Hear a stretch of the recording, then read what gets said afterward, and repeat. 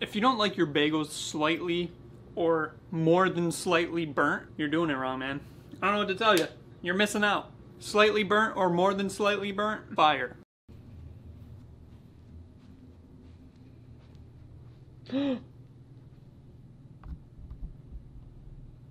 Say hello. Say hello. Yeah, good girl. You guys have probably seen her in the last few videos, but um, that is the Doggo Tricks. We have the Cato Tricks, who you've already met if you've seen all my videos. Every second of every one of my videos, you would know that the Cato Tricks exists. But we also have the Doggo Tricks.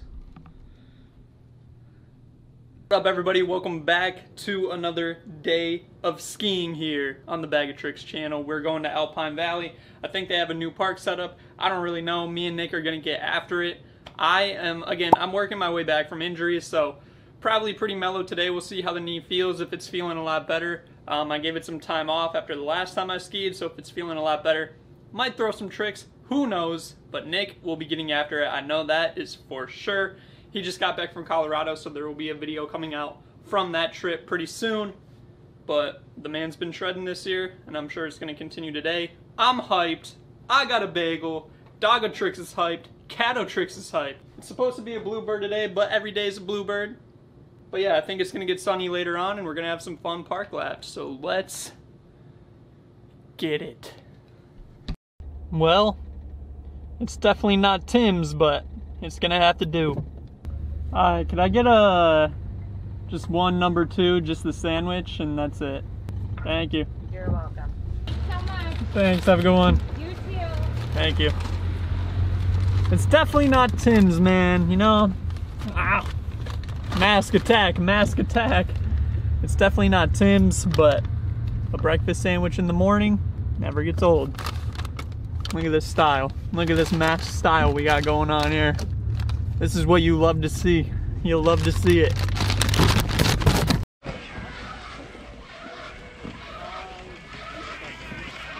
Let's go Bills, baby. I might get a goggle tan out here today. Beautiful day, beautiful day. We're riding a little bit better, getting more comfortable. Whew. We're almost back.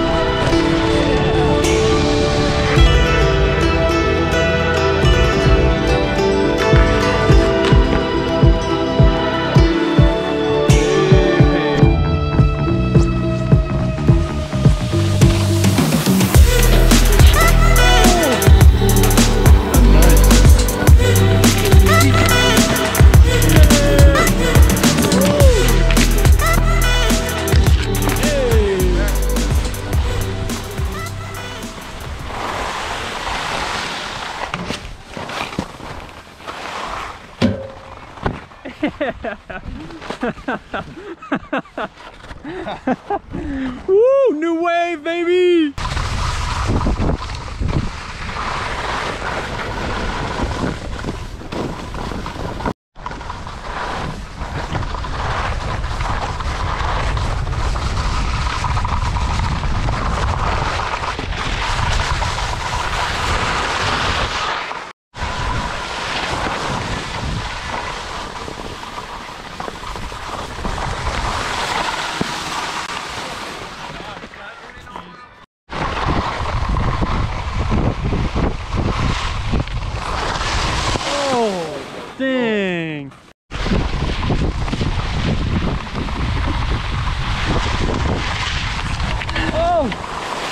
Good? That is what you hate to see.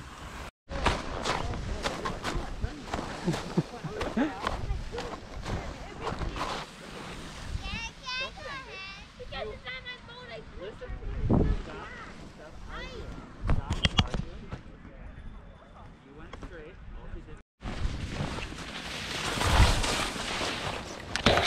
Yeah.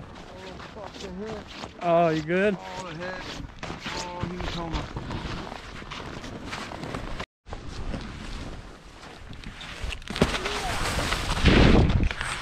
Oh.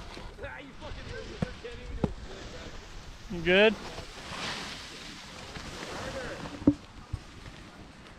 You good?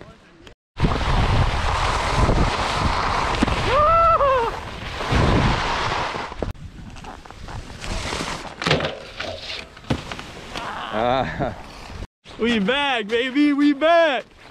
All right, it's the next day. I'm currently editing the video, as you can see behind me. Uh, I realized that one of the clips I filmed at the end of the day didn't actually get filmed, so I wanted to do it right now. Yesterday was amazing in a lot of different ways. On top of being beautiful weather, just really fun skiing, really good vibes. It was the first day where I've kind of started to feel like myself health-wise. The other day at Brandywine when I filmed that night edit, I was actually in a lot of pain. I didn't really say in that edit what was going on, but just didn't feel didn't feel good. And the reason there's been such a long gap in between that video and this video is because I gave my knee a lot of time to rest and recover. Iced it for like a week straight and came back this week and I felt way, way better. As you guys saw, I'm hitting jumps. I'm hitting real features like that tube. It's super exciting. So I know I have to pace myself and I'm gonna be better about that going on through the season, but today was huge. You know, up until this point, I was happy to be skiing, but I wasn't like super stoked because of how it felt and how uncomfortable I was on my skis. But yesterday completely changed that and I hope that trend continues for the rest of the season. Thank you for supporting. I'm gonna be making a video on how to 180. That will be the next video after this one, so stay tuned for that. I hope everybody's having a killer season and staying healthy and getting after it, man, because that's what it's all about. Thanks for watching again. I'll see you in the next video, guys. Peace.